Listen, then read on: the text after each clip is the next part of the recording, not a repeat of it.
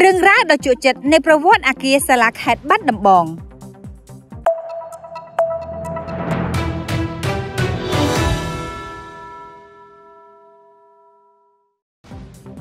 អតីតអគារសាលាខេត្តបាត់ដំបងបានកសាងឡើងនៅក្នុងសម័យលោកម្ចាស់កថាថនឈុំដែលខេត្តបាត់ដំបងស្ថិតក្រោមការគ្រប់គ្រងរបស់ថៃពីឆ្នាំ1795ដល់ឆ្នាំ1907លោកម្ចាស់កថាថនឈុំគឺជាពុយពងរបស់ចៅវ៉ៃប៉ែនដែលបានគ្រប់គ្រងខេត្តបាត់ដំបងរហូត5ចំនួនតតគ្នាក្នុងឆ្នាំ1905ស្ដេចត្រាញ់កថាថនឈុំបានជួលសប្បុរសករអ៊ីតាលីពីទីក្រុងបាងកកឲ្យមកសាងសង់អគារនេះឡើង សម្រាប់ធ្វើជាលំនៅឋានផ្ទាល់ខ្លួនប៉ុន្តែក្នុងឆ្នាំ1907ពេលដែលបារាំងទាមទារបានខេត្តទាំង3រួមមានខេត្តបាត់ដំបង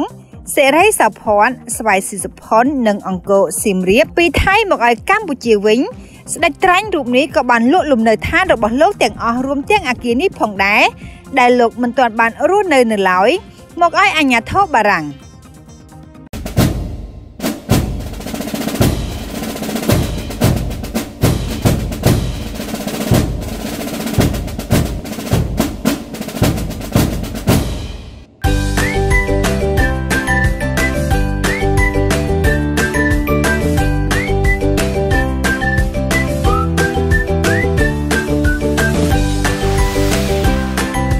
ថ្នាំលាបគុណភាពល្អបំផុតអុយ90ផ្ដល់ពណ៌ភ្លឺស្រស់ស្អាតដូចចិន